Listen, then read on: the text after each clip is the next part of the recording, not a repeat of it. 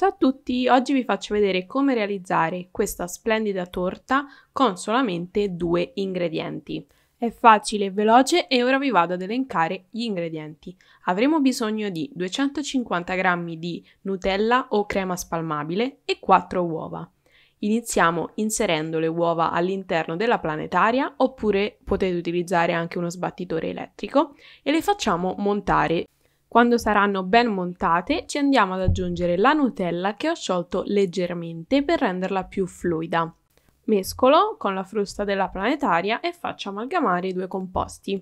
La verso all'interno di una tortiera da 22 o 24 cm di diametro e la metto in forno a 180 per circa 15-20 minuti.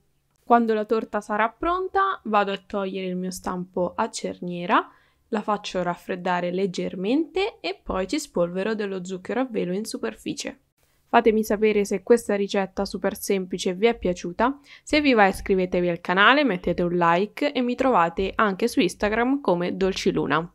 Grazie per aver seguito il video, noi ci vediamo al prossimo, ciao a tutti!